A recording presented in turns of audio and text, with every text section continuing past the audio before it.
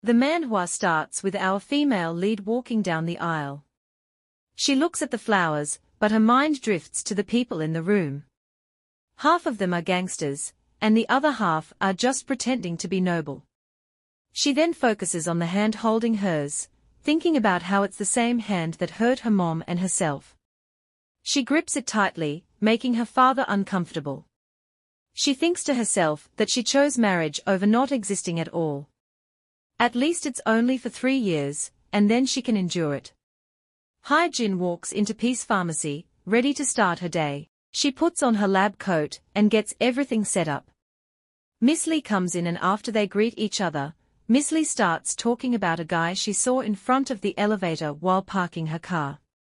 She describes him as looking like a gangster. To her, he seemed kind of cool, but also really scary. She felt like her life might be in danger if he decided to hit her. Just then, the same guy walks in and heads straight to Hai Jin's desk. He says something about her having a nice place to hide. Hai Jin tells him to come back later because she's busy working, but he grabs her by the hair and doesn't listen to her when she tells him to let go. He asks if she's going to run away again. Miss Lee tells him to let go or she'll report him, but he insists she put down her phone or he'll break her fingers. Scared, Miss Lee quickly puts her phone down. He then introduces himself as Hai Jin's older brother and says he's just talking to his sister, so Miss Lee doesn't need to worry about them. He adds that if she wants to shut down her business, she should just report him. Hai Jin tells Miss Lee that she's fine and will be back soon, and then she leaves with her brother. Outside the pharmacy, Hai Jin's brother is still holding her hair tightly. She scratches his wrist to try to get him to let go. As he raises his hand to hit her, she grabs his bleeding wrist and tells him he hasn't changed at all. He still doesn't respect women. He responds by throwing insults at her.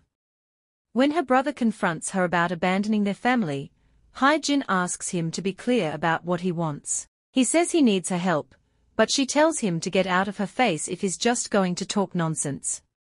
She thinks to herself that if he keeps this up, everyone, including their mom and dad, might be in danger. Hai Jin hasn't been in touch with her family for nine years, ever since she started college. She decided to leave behind the gangster world and focus on finding herself. It hasn't been easy, but she has managed to endure it. Her grandfather was well known across the country. Back then, one of his colleagues bought a piece of land with plans for construction. He asked Hai Jin's grandfather for help. After buying the land and building on it, the colleague kicked out all the hard-working laborers. Essentially, he was a gangster who worked in the service industry. Hai Jin's father was different from her grandfather. Instead of staying in the same line of work, he chose to jump into the construction industry. He was tired of being just a small player for MK Construction and wanted something more. He made a name for himself and started his own company, which he named Ganghan Construction. This new company did really well, just like MK Construction. Both companies grew into big, successful businesses, but at their core, they were still part of the same gangster world, just dressed up as corporate firms. Over the years, MK Construction and Ganghan Construction often clashed over the same pieces of land. Their disputes turned into fierce battles that resulted in many lives being lost. This violent conflict became a major story in the news and was talked about by society for a long time. For more than 20 years, they managed to keep their rivalry under control, which helped keep the situation relatively stable. They never developed a close relationship, but they maintained their separate territories. However, things changed when a new organization entered the scene. This new construction company, supported by foreign investors, started to push into the territories of both MK Construction and Ganghan Construction. Their arrival disrupted the long-standing rivalry and created new challenges for both companies. To prevent the situation from getting worse, the leaders of MK Construction and Ganghan Construction decided to join forces.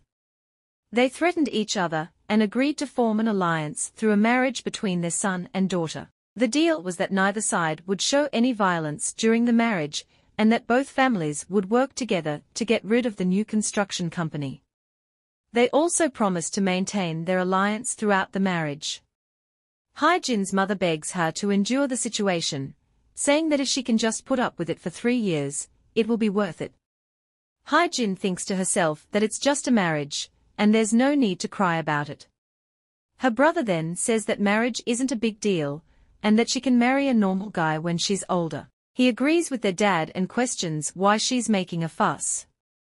Every time Hyejin thinks about her father, she clenches her fists.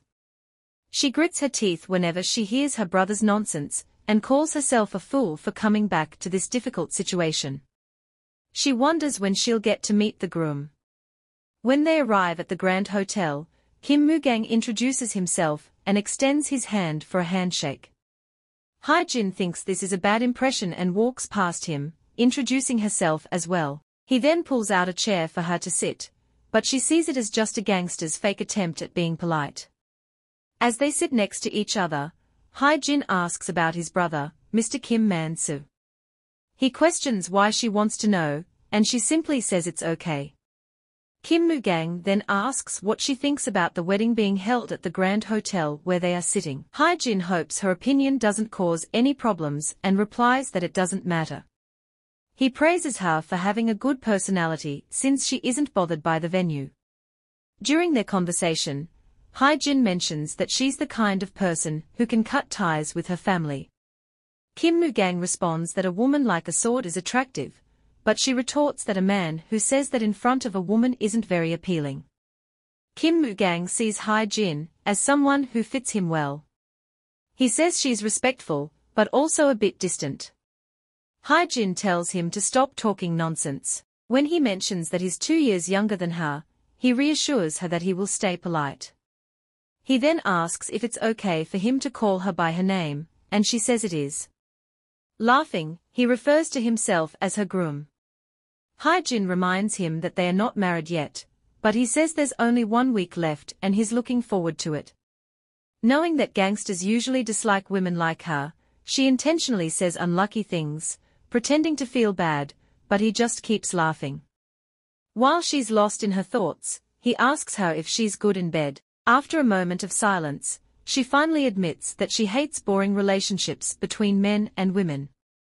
Kim Mugang says he wants to get to know her slowly and listens to what his future wife has to say. He stands up and extends his hand, asking if they can leave. Hyejin tells him that her family mentioned he's a good person. She thinks to herself that he must be a considerate person who accepts unreasonable suggestions from others. Still holding out his hand, Kim Mugang asks if she's ever thought a man could be intimate with a woman he can't even hold hands with. Hyejin can't deny it and adds that she doesn't want him to dislike her actions. He asks why he should accept this, and she doesn't have an answer. Hyejin wants to hear everything from the person who will be her husband.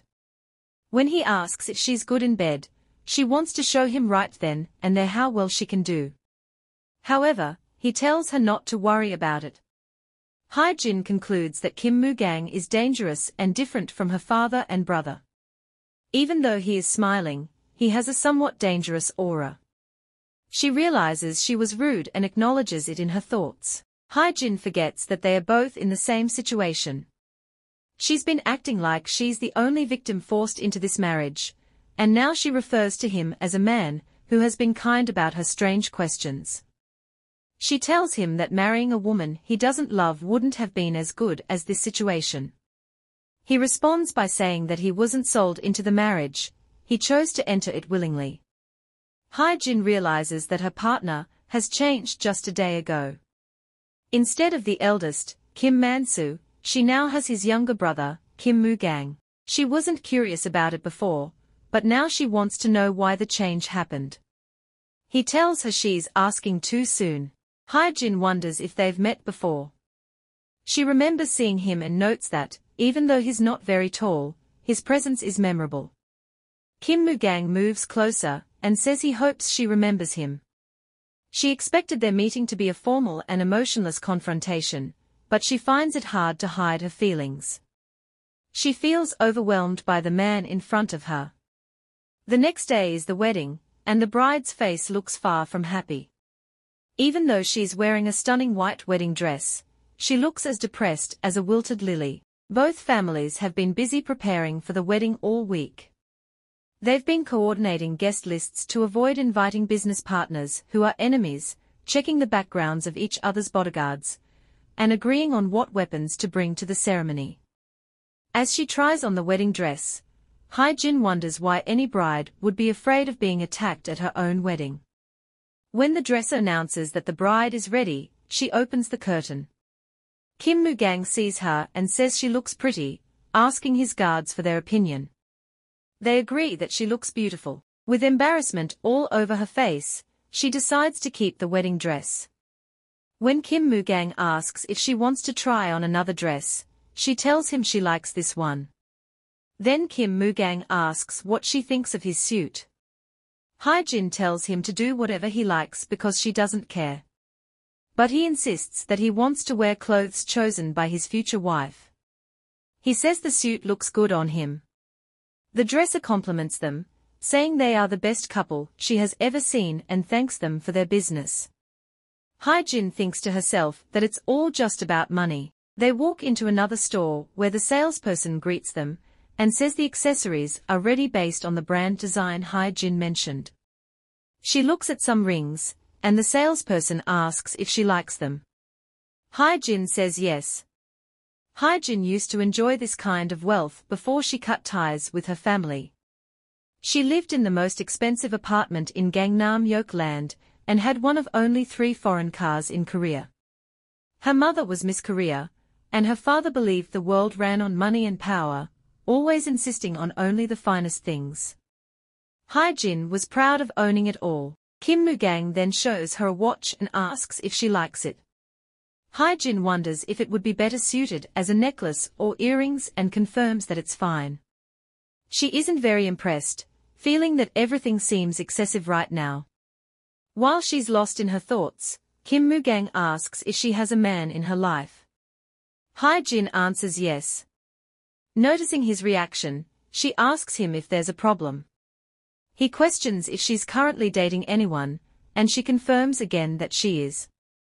During her high school days, Hai Jin confessed her feelings to her senior, her first love. She told him she liked him, but he apologized, saying he wanted to focus on his studies. After that, she was ridiculed behind her back. People talked about her gangster family, saying she was creepy and that her brother would beat up anyone who got close to her. Her brother did end up beating up the boy, but not because of Hai Jin. It was because he had a problem that had been quiet for a while, and he said he felt an itch to use his fists. After that incident, no one wanted to make eye contact with Hai Jin, and her first love ended miserably. Even in college, the rumors didn't stop, and men quickly backed away from her. Kim Mugang asks if she is dating anyone else. Hai Jin tries to change the topic, reminding him they are there to choose a wedding ring. But Kim Mugang insists it's important to know before they get married. Hai Jin thinks that Kim Mugang is pretending to be gentle and friendly, but is showing his true colors now. She compares him to her father, who makes excuses for men and treats her mother poorly. She sees her father as a thug who tells women to be careful, but plays around with three women himself, just like her brother, who changes girlfriends whenever he wants. She asks Kim Mugang if he has a girlfriend. He says she is the only one he has. He then reminds her that their marriage is serious, not a game or a new romance. Hai Jin thinks to herself that she is risking her family's safety to fulfill this contract. Hai Jin warns Kim Mugang not to do anything stupid, like threatening or forcing her, because such actions won't affect her. Hearing this, he kneels in front of her, tells her she is appealing, and that she is his right choice. When she asks what he's talking about, he takes her hand and puts a ring on her finger. He says they should live well together and promises that he won't let a drop of water touch her hand. Hai Jin had once dreamed of getting a proposal from someone she loved, but she thought it was just a fantasy. She never imagined marriage would be part of her life. Yet here is Kim Mugang kneeling in front of her, with a shining ring on her finger, and making a childish promise about not letting water touch her hand. But she doesn't respond to his proposal. The storm on the wedding day is huge and expected because it's monsoon season. For Hai Jin, the heavy rain symbolizes the relationship between the two gangster families, MK Construction and Ganghan Construction. Their relationship is full of conflict, like a battle that has turned the whole area into a sea of blood. The news of the union between the two families makes headlines that morning, and the newspaper even calls it a metaphor for gangster Romeo and Juliet. To Hai Jin, it feels like she is just an actor in a comedy play. Today is Hai Jin's wedding day. She is sitting on the couch in her wedding dress when someone knocks on the door. She tells them to come in, it's Kim Moo-gang. She asks him about his bodyguards, and he says he sent them away. Then he asks her how many children they should have and how often they should be intimate. Hai Jin thinks it's not right to discuss such things through someone else, but Kim Moo-gang doesn't mind. In her mind, Hai Jin knows that she isn't interested in a long-term relationship or anniversaries because she plans to end the marriage as soon as the three years are up. She wonders if Kim Moo-gang has unrealistic expectations. He says that since it's their wedding, they need to plan things for themselves. But Hai Jin sees this as just an arranged marriage where they live together. He asks if she snores at night, and she tells him not to ask. He says he sleeps well even if it's noisy. Hai Jin mentions that she doesn't like sharing a bed with other people, but Kim Moo-gang says it's important for couples to sleep in the same bed, even if they argue. Hai Jin asks who made the rule about couples sleeping in the same bed. Kim Moo-gang says it was their parents. Hai Jin replies that their parents' situation is different from theirs because their marriage wasn't arranged by a contract. Kim Moo-gang tries to convince her that there's no difference between their marriage and their parents' marriages. Hai Jin explains that their parents met and decided to marry, while they knew they were going to get married before even meeting each other.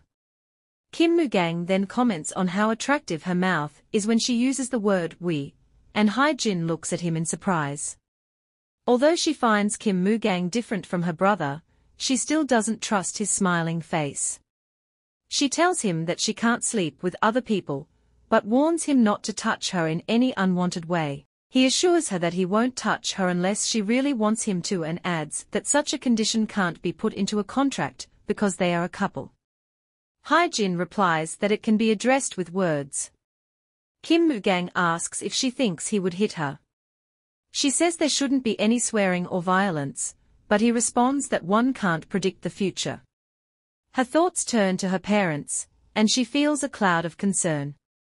Hai Jin remembers how her father used to deal with her mother. He would get angry and use excuses that didn't make sense. As a young girl, she would rush to protect her mother, but ended up getting hurt herself. She's not surprised by her brother's behavior since he grew up watching their father. She sees them both as thugs who use their fists before using words. Kim Moo-gang steps closer to her and wipes away her tears, saying he will never hurt her. His words seem sincere to her, and she thinks that even though she's not happy, being with him might not be such a bad thing. He tells her they can deal with everything later, and that it's never too late to make decisions in life. He adds that they will have plenty of time to spend together. The flowers at the wedding alone cost over 100 million. The banquet hall is packed with guests, half of whom are important figures and the other half are gangsters pretending to be high class. Hai Jin thinks about how strange it is that the same hand that hit her mother and herself is now holding hers as they walk down the wedding aisle. She tries not to think about it and focuses on the flowers. The whole thing feels surreal as she climbs up the stairs with Moo-gang's hand in hers. After a long ceremony, it's finally time for the vows. They exchange their vows and officially become a couple.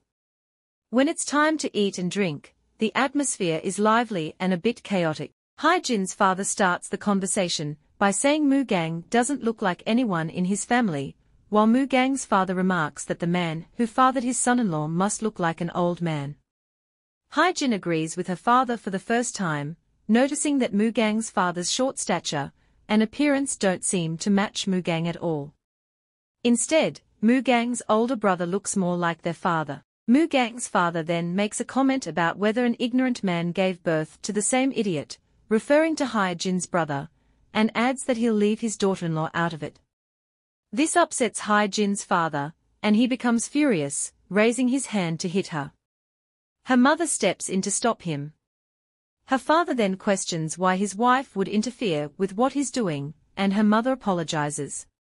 After that, the argument between the families turns the whole event into a mess. During the argument, they fight over names, status, and appearances. Jin tells her brother to keep his hands off her brother-in-law, as they are getting into a fight. She offers Kim Man a sword, but Mugang stops her, saying it's their son's wedding. Kim Man apologizes as instructed by his father. Jin notices that her father's expression shows he's unhappy with everything happening. She thinks about how her mother is like a trapped mouse when they get home, unable to speak due to her position. Jin starts to wish the marriage would end after this sword fight. Even though she planned to stay for three years, she already feels like running away. Kim Mugang stands up, takes her hand, and announces that it's time for their flight. They start to leave the wedding venue. He tells her that Jeju Island will be fun and asks for her opinion on it. Their honeymoon destination is Jeju Island. Kim Mugang built a villa there with the first money he earned from his construction job. They walk onto a private plane, and as she sits down, she thinks about how her father, upset by the news, bought a private plane the following year. Already seated, Kim Mugang looks at her and asks if she is upset. She simply replies, no. She has a fear of heights, so she stays frozen in her seat until they arrive at Jeju Island. She asks if there are any family traditions they haven't talked about yet. Laughing, he says they need to get off the plane using parachutes. Then he asks if he can hug her, but she says no. Despite that, he takes her hand. Even though she didn't agree, she feels comfortable with his hand holding hers. Instead of pulling away, she lets him help her, as they hold hands tightly until the plane lands. As she tries to get off the plane, her leg hurts, and Kim Mugang offers to massage it. He even jokes that he could lick her toes, but she tells him not to touch her legs because they are dirty. She closes her eyes and lets him massage her leg. He tells her to sleep because there's a lot to do later. Hearing this, she quickly pulls her leg away, saying he shouldn't force her. As they step out, he puts his hand on her shoulder. He shows her the villa where they'll be staying and asks if she likes it. She walks away, saying she likes the wedding the most. Kim Mugang feels a bit embarrassed by her response. She thinks it's a nice cottage, but she feels it's a shame they are only staying for two days. She insists that two days is enough. They toast to their future, as Kim Moo suggests. While he means forever, she thinks their marriage will eventually end someday. As they walk along the shore, Kim Mugang keeps staring at her, and says it's great to be alone together. She tells him not to do anything weird. He steps closer, faces her, and holds her face with both hands, asking what she's talking about. He moves in to kiss her, but she calls his name and pushes him away. He says she's being weak and that calling his name makes him remember he can't do what he wants. He adds that she has another chance to change her mind. Even though he stares at her intensely, he backs off. She then asks about the bodyguards, noting that they followed her while she was alone. Kim Mugang tells her to get used to it, even if she doesn't like it. When she says she can live on her own, Kim Mugang tells her he knows she's been happy for the past nine years and doubts she's really lived alone. She figures her father must have sent someone to follow her without her noticing. She realizes she was too naive not to see it and decides she needs to escape her current situation. Kim Mugang then tells her to stay by his side if she doesn't like it. She insists she knows how to protect herself, but he suddenly pulls her close, covering her mouth with his hand and lifting her off the ground. He asks what she would do if something like this happened to her. In response, she stomps on his leg hard and punches him in the chest. Standing upright, she mentions having seven packs, and holding his chest, he stumbles back and falls to his knees. Seeing him on the ground, she calls his name and moves closer to help him. But before she can reach him, he pulls her down onto his lap. She ends up sitting on his knees as he sits on the ground. He then asks if she doesn't know she shouldn't leave her enemy until the very end. She complains that his jokes are making her heart race. He laughs and apologizes, then wipes sand off his face. She points out a scar below his eye and asks about it. The scar makes him look less impressive.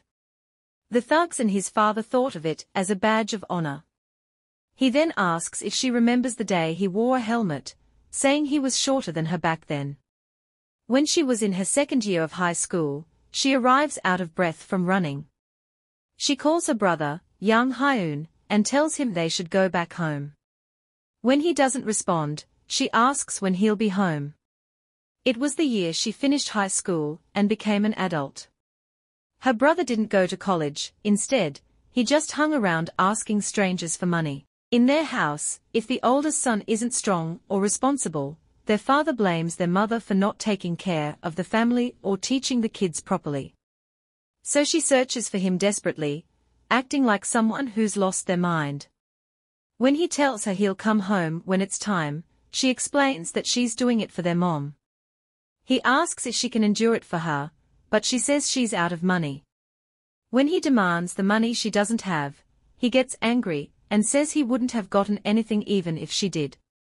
She moves closer and bites him hard on his lower leg. He screams as she keeps biting him, and when he raises his hand to hit her, someone kicks him from behind, making him fall on his back. She asks who the person is, since he's wearing a helmet. The person asks if she's okay and tells her to run while holding her hands. He explains that she needs to get her brother to go home. He walks over, grabs her brother, and hits his head against the wall. She begs him to stop, and just in time, a police car arrives. Her brother, Hyun, manages to escape. She helps the man up, asks if he's okay, thanks him for helping her, and tells him not to get involved in other people's problems. She's surprised to learn that he had a wound that day. He asks if it looks impressive, but she says she doesn't believe it. She remembers how skinny he was back then, and how his young voice disappeared. He feels it's a shame, because he would have sought revenge before her brother became prefect. She asks how he plans to get his revenge, and he wonders if he should make her pay ten times for it. She thanks him, saying it's just words. She had thought the scar was from fighting, but now she realizes it saved her 11 years ago, and she feels guilty. Still touching the scar, he asks if they can stand up. He talks about being unsettled and alert, stretching out his hand and asking her to help him up, but she ignores him and walks away. She thinks about the scar on his face from getting involved in other people's problems, how he asked for help and she refused. She reflects on how cold she seems, not missing anyone and not caring about others' opinions, but she finds herself getting caught up in everything when she's with Kim Moo-gang. As he takes a warm bath, he thinks about what happened at the shore. Meanwhile, she opens a bottle of Hennessy in the sitting room. She's been feeling nervous about their wedding night, and keeps thinking about how he tried to kiss her. That's why she asked to sleep in a separate room, and set rules against physical contact. She knows he won't force her, but she wonders how long this will last. She remembers his comments about touching things that make someone feel lustful, how he sucked her leg when she was hurt, and his desire to kiss her. She knows he's different from her and isn't pretending to be just a couple, he really wants to be one. She takes a sip of her drink, concluding that this isn't how she feels. He walks into the sitting room and approaches where she's sitting. As she turns to face him, her eyes meet his broad chest, and she notices a leopard tattoo running from his shoulder to his navel. He takes the drink from her and asks why she is drinking alone. He says she should wait for him, then takes a sip himself. She thinks that all gangsters must have leopard tattoos like his. He asks if she wants to touch it, but when she reaches out, she pushes him away. He pulls her closer, and she asks why he isn't wearing a shirt. He teases her, asking if she wants to take it off herself, but she reminds him that they agreed to avoid physical contact. He tells her he'll make her want it, He holds her by the waist and neck and moves his face closer to hers. As they start kissing, her thoughts get cloudy. Her mind feels like it's going to explode, and her legs go weak from feelings she's never felt before. She begs him to stop, wipes her lips, and wonders what kind of situation she's in. She thinks he's only focused on overpowering her and sees him as a dangerous man, almost like a wild animal. She thinks her first kiss was a mess. She reminds him again that they agreed not to have any physical contact. He asks if she's in a bad mood, and when she asks why he's asking, he says he loved it and was about to lose control. She throws a piece of clothing at him, and he adds that there's no way to explain it better. She wonders how it would feel if it were his body instead, because just a touch on his lips feels nice. He tells her he can't get a grip on himself, but still wants to go all the way with her because it's all he thinks about when they are together. His words are so direct that she wonders if she heard him right. She finds it ridiculous and thinks that if another woman were in her place, he'd probably say the same thing. He rests his head on her shoulder and apologizes for kissing her without asking. She reminds him that he always does what he feels like doing. He says he only wanted to sleep with her and that's why he made her feel nervous, but he doesn't regret it because he's dreamed about that moment. He also says it feels even better than he imagined. She wonders why Kim Moo says he enjoyed the kiss, and she admits that she enjoyed it a lot too. She had thought he didn't like it. He says he can't promise he won't touch her fingers, but he won't force her. If he can't resist the urge, he'll ask for her permission and try his best to make her feel the same way. She says she'll be upset, and doesn't want to do anything. She is actually speechless because of his touch. She wonders if he's found her weak spot again, and if she's being pulled into his emotions. Still holding her fingers, he begs her not to push him away. She asks if he will listen to her from now on. When he says he will, she tells him to put his shirt on, and he does as she says. Kim Moo sleeps on the couch while Hae-jin lies in bed. After a loud flash of lightning, she checks her phone and sees that it's half past four. She's slept longer than she expected. She tells Kim Moo to move to the sofa in the living room. He tries to persuade her by saying they'll only hold hands while they sleep, but she reminds him of his promise to always listen to her. She adds that if he doesn't, she'll sleep on the sofa instead. As he leaves, he says he won't bother her anymore that day because she might get tired. From the wedding ceremony to the honeymoon, there has been a lot of emotional tension between them. As she thinks about what happened in the living room, she feels relieved that she asked him to leave. He asks if she is asleep, and when she turns to face him, he says he came in because he's afraid of the lightning. He says he came in because he's scared of lightning, and she agrees to let him stay just for tonight. She asks if he knows his face looks scary, and he responds with a surprised, really. He then asks if he can hold her hand, calling her thick-skinned in a teasing way. She complains about the constant rain, and he wonders if she has somewhere to go once it stops. She says no and mentions that she likes staying in the villa all day. He then jokes about being hurt, because she said she's most satisfied just staying in the villa. She laughs and agrees that staying home all day in Jeju Island seems like a waste.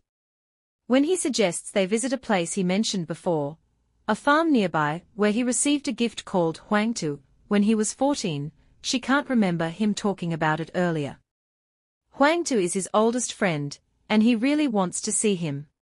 He adds that Hwangtu is his wife, which she finds both embarrassing and wonderful. She thinks to herself that she won't pay much attention to Kim Moo Kang's sweet talk until she understands what marriage really means. To her, it feels like just a political marriage, and she worries that if there's no benefit, they might break up. She wonders why he is so clear, simple, and confident, and why he calls Huang Tu his wife even with their kind of relationship. That night, she falls asleep without realizing it and dreams of a big panther. It has fierce golden eyes and a golden coat. She feels comfortable listening to its heartbeat and snuggles into its warm, soft chest. In the morning, Kim Moo is in the kitchen making breakfast. He asks Hae-jin if she prefers milk or soy milk, and if she likes her eggs fully cooked or semi-cooked. She tells him she likes soy milk and semi-cooked eggs. She mentions that it has been a long time since she had breakfast with someone. After taking a bite, she says it isn't as bad as she thought, and he tells her it's not just not bad, but actually delicious. Kim Moo explains how nice it is for her to live with him. He says that if there's thunder in the morning, he'll be right by her side, letting her rest her head on his arm and her leg on his waist. She then tells him that she thought he was like a doll. Outside the villa on a very sunny day, Kim Moo takes pictures of her, but she asks him to stop. When they arrive at their destination, Kim Moo introduces her to Huang Tu. He pats Huang Tu on the face and tells her that this is his wife, making the introduction casual and light. Hai Jin doesn't know much about horses, but she can tell that Huang Tu is beautiful. She thinks Huang Tu looks like Kim Moo because it seems like a wild animal. Kim Moo takes a photo of her, as she puts her head close to Huang Tu's mouth. He watches her play with the horse and then tells her that he's never seen her smile so genuinely before. When she asks if there are fake smiles, he explains that there are teasing smiles, empty smiles, and smirks. He adds that she usually doesn't have any reason to smile like that. Even though leaving her stifling home to be alone was comfortable and freeing, she struggles to make it through a day. Kim Moo promises to make her smile more often from now on and to put a ring on her finger. She says that the only reason she smiled after hearing that was because of the beautiful weather. The three days and two nights of their honeymoon go by quickly. On the plane, Hai Jin sips her tea. She no longer has time to feel afraid of flying. She reflects on how the trip was happy, the last flight was uneventful, and the peaceful time during the storm. She feels comfortable now, even though she thinks the next destination seems disgusting and gloomy. When they arrive, her mother welcomes her new son-in-law, Kim Moo, while he greets her father and mother-in-law. Her dad asks if they are back. Hai Jin is upset by the way her dad is treating Kim Moo. Kim Moo bows deeply and asks her dad to accept his respect. Her dad agrees, but Jin wonders why Kim Moo is bowing so much, thinking it's not normal. She is frustrated that her dad sold her off just to keep his gang. Her brother walks in and suggests that she should also bow to greet their dad. He questions where she's been and why she's making fun of their father. He sits down and keeps insisting that Jin should bow, saying Kim Moo doesn't need to worry about her. He adds that it's enough to wish for a long life, just to see her bowing. Even though she never wanted to be there because of her biological parents, she feels surprisingly calm at the moment. Annoyed, she tightly squeezes her palm. Kim Moo decides to bow twice on her behalf. This makes her brother and father upset, and Hai Jin is surprised by their reaction.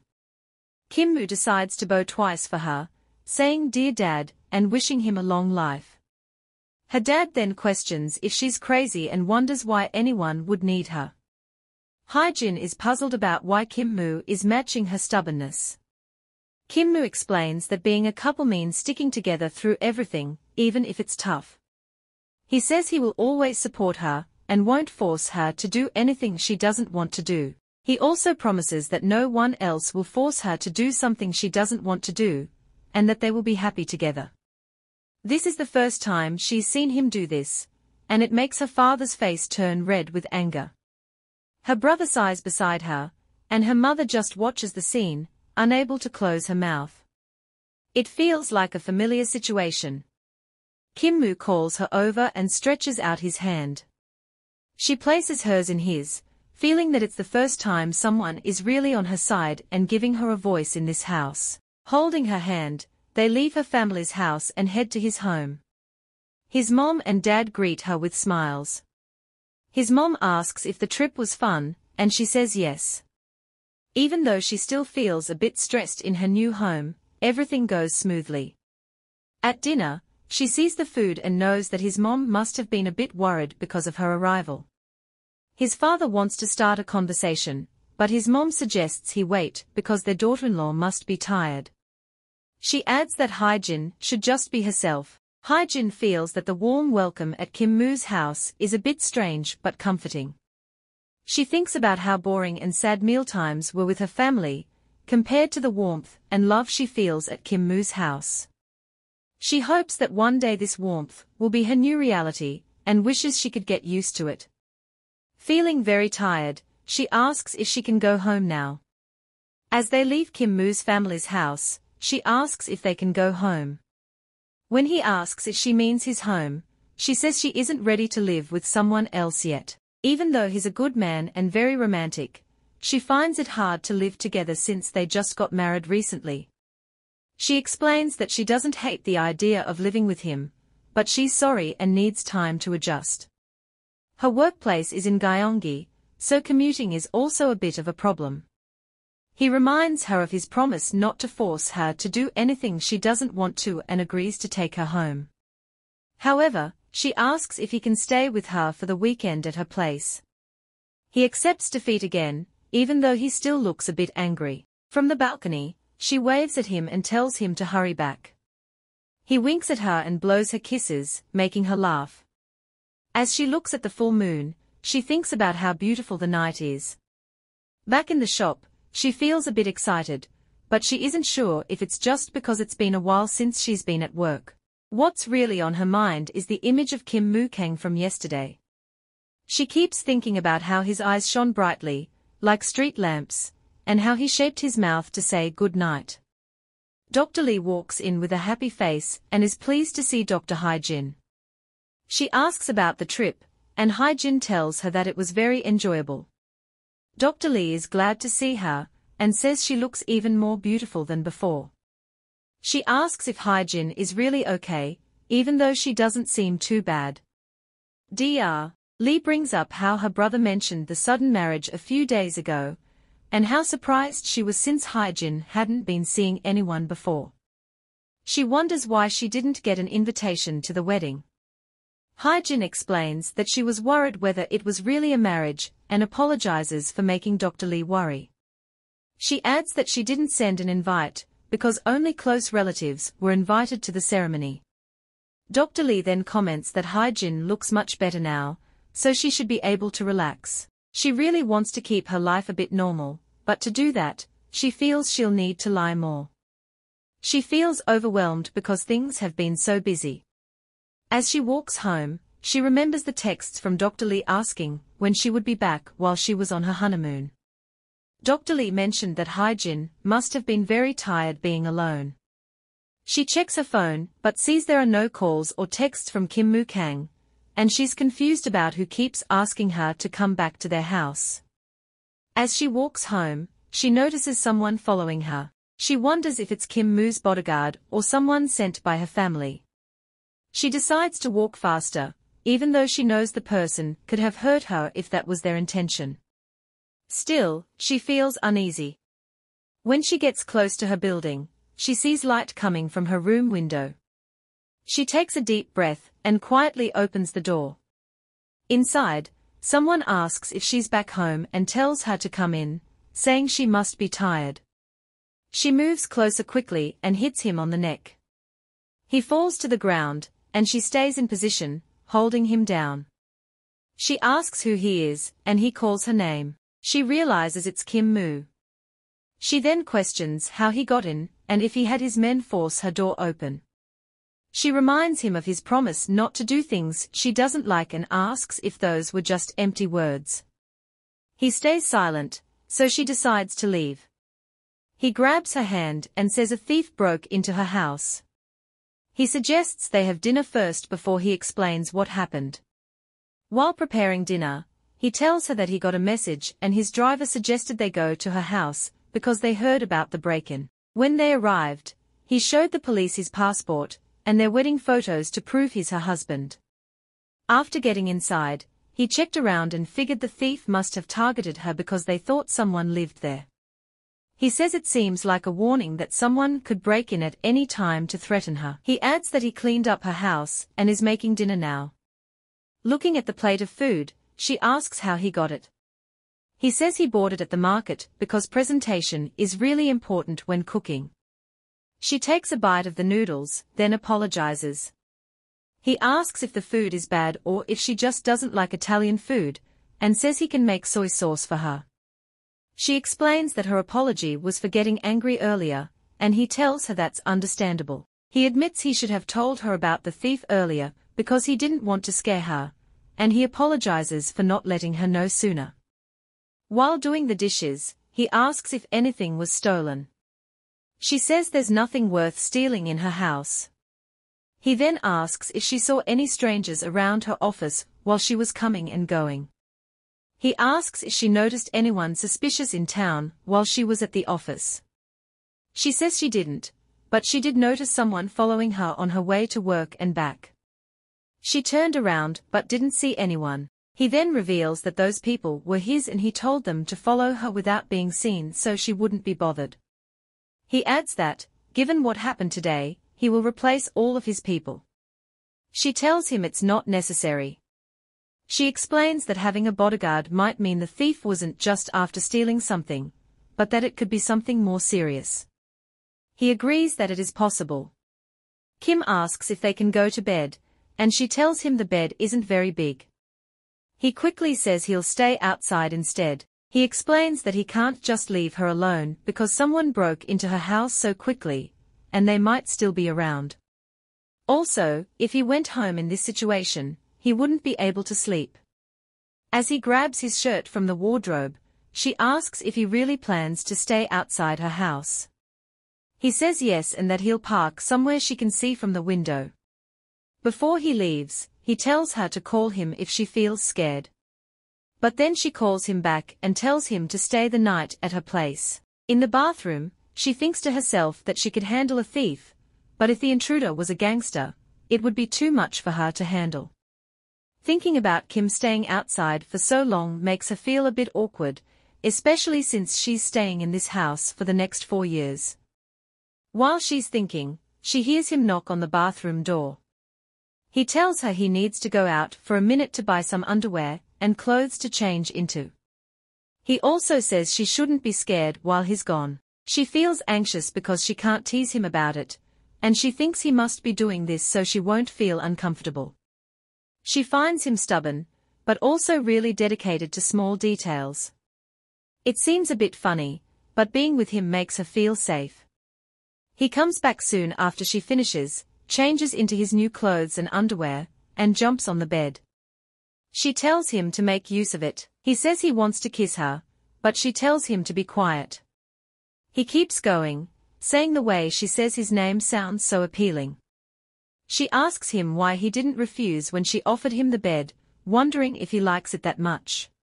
He admits that he does, and he loves her scent too. Then he asks if she wants to join him on the bed, but quickly says he was just kidding and that she should sleep. She lies on a cloth on the floor, and says she'll add some extra security to the front door tomorrow. For now, he just needs to keep watch for the night. He touches her forehead and asks if she's worried about him. He tells her not to be, saying he has everything planned out. When she asks what his plan is, he covers her face with his fingers and tells her to go to sleep since she needs to wake up early. The police ask if he's really Yang Hyejin's husband and why she's living there alone. He checks his ID and confirms he is her husband. Kim Moo says they will be reunited soon and looks upstairs. He turns out to be even more stubborn and unreasonable than she had expected. As they walk, Mr. Kim Moo Kang offers to take her home, which she finds surprising. She asks if he's not going to the company today.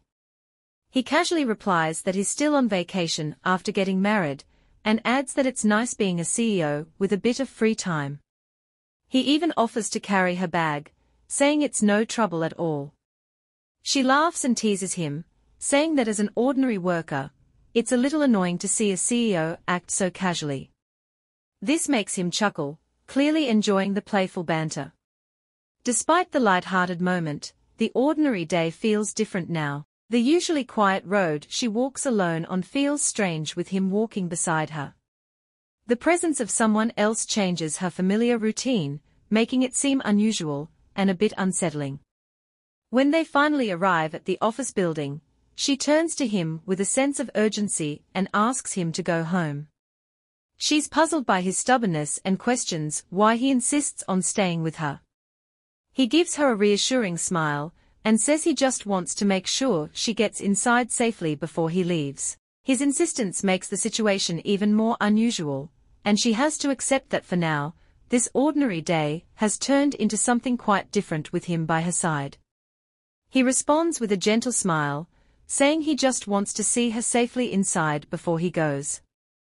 He reassures her that he won't be in the way. With that, they both enter the building together. As they walk in, she greets Dr. Lee, who is busy at her desk. She leans in close to Dr. Lee, whispering with a touch of curiosity, I think I've seen him before. Do you know if he's your boyfriend? Before Dr. Lee can respond, Kim steps forward and, with a friendly but firm gesture, says, he's not just a boyfriend. He's my husband. He then pulls her closer to him in a warm embrace. Dr. Lee looks surprised but then smiles, inviting Kim to come in and have a cup of coffee before he leaves. She adds with a hint of relief, I was a bit anxious about getting married so quickly. But I have to admit, I didn't expect my husband to be this handsome. She chuckles softly, feeling a bit more at ease now that Kim is here. He thanks her as he takes the coffee, and she immediately starts asking him questions. She wants to know what he does for a living, why he's not at work today, and if his house is close by. As she's asking these questions, her phone rings, it's Hai Jin calling. She feels a bit uneasy, wondering if she's asked too many questions too quickly. He reassures her that it's perfectly fine and actually tells her he's grateful that his wife has such a considerate colleague. She mentions that she thinks his wife is a really special person, and he agrees, saying he's always thankful for her. Curious, she then asks how he and Hai Jin met. He smiles and shares that Hai Jin was his first love. He explains that Hai Jin and her father came to his grandfather's funeral many years ago. He was struck by how impressive she was even back then. Haijin is in high school when it all happens. One day, he begins to tell the story of a time when a man died, and it led to a huge fight among the adults. He talks about how everyone started arguing, and how things quickly got out of hand. He remembers the shouting, the anger, and the tension in the air. In the middle of all the chaos, he spots her. She stands out to him, even though everything around them is so chaotic. He describes her eyes as bright and full of emotion, like they could see right through him. Her voice is soft but strong, and even with all the noise, he can hear her clearly. At that moment, he doesn't know it yet, but looking back now, he realizes it was love at first sight. As time goes by, the girl he saw that day becomes someone he can't forget. Every time he thinks about that day, her face is the first thing that comes to mind. She becomes special to him in a way he never expected. At first, Haijin can't recall all the details of that day. The memory is a bit blurry because so much is happening all at once, but as he continues talking about it, the memories come back to him more clearly. He remembers the sounds, the smells, and the feelings of that chaotic day. He remembers the man who died, the fight that broke out, and most importantly, he remembers her. The more he talks about it, the more vivid the memories become, and he can see everything as if it's happening all over again.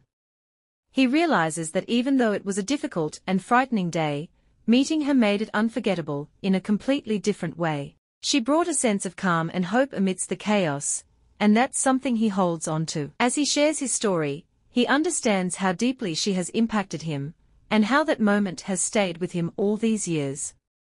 Even though they were surrounded by turmoil, seeing her was like finding a light in the darkness, and it's a memory that remains etched in his heart.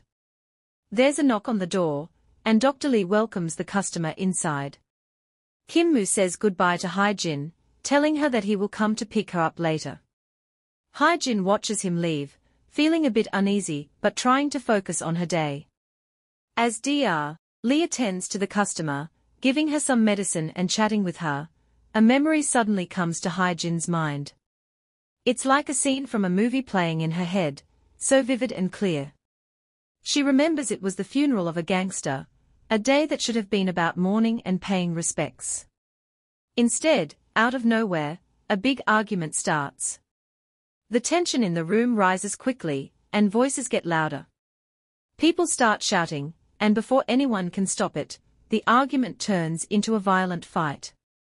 The memory of that day is sharp and detailed. Hyejin recalls how the funeral floor becomes a mess, with chairs overturned and people shoving each other. Blood is everywhere. She can see it clearly in her mind's eye, the red standing out starkly against the dull colors of the funeral setting. Someone even gets cut with a blade, and the sight of all that blood makes her stomach turn. The chaos of that day, the screams, the sound of fists hitting flesh, and the sight of people she knew turning on each other, it all makes a deep impression on her. Hyejin's feelings about gangsters changed dramatically after that day. The sight of the violence and the blood makes her hate gangsters even more. She can't understand why they have to bring their fights and anger into such a solemn occasion. As she stands there in Dr. Lee's office, the memory is so strong that it feels like she is back at that funeral. She can almost hear the shouts and feel the fear she felt then. The whole place feels like a nightmare, and the memory of it is still very vivid in her mind. The scene is so intense that it leaves a lasting impression on her, making her feel a deep sense of anger and hatred toward the gangsters who caused all the trouble. In the evening, just as he promised in the morning, Kim comes to pick Hyejin up. He takes her hand and suggests they go out for dinner. As they walk, she starts to wonder how much he really understands her. She also questions herself, wondering how well she understands him. When they arrive at the restaurant, they sit next to each other.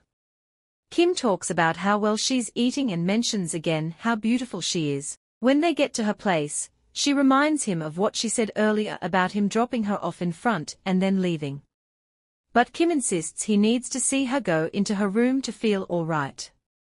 She brings up the fact that his bodyguards follow her everywhere, and he laughs it off. She thanks him for the day, saying he should go home as she opens her door, and firmly tells him that he can't stay at her place for the night. Kim says good night, but she can't shake the feeling that something is wrong. The previous day, Kim insisted on guarding the front of the house. Now, as she stands there staring at him, he opens the door to the room opposite hers. She asks him what he's doing, but he doesn't answer her question. Instead, he just walks into the opposite room, saying he'll see her in the morning. She watches him go, feeling a mix of confusion and curiosity about why he's staying so close by.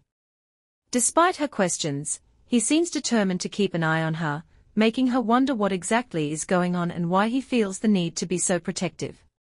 As she goes into her own room, she can't help but think about his actions and what they might mean. If you're eager for the next chapter, drop a comment expressing your interest in a part 2. Don't forget to subscribe and hit the notification bell to stay updated. Until next time, ciao.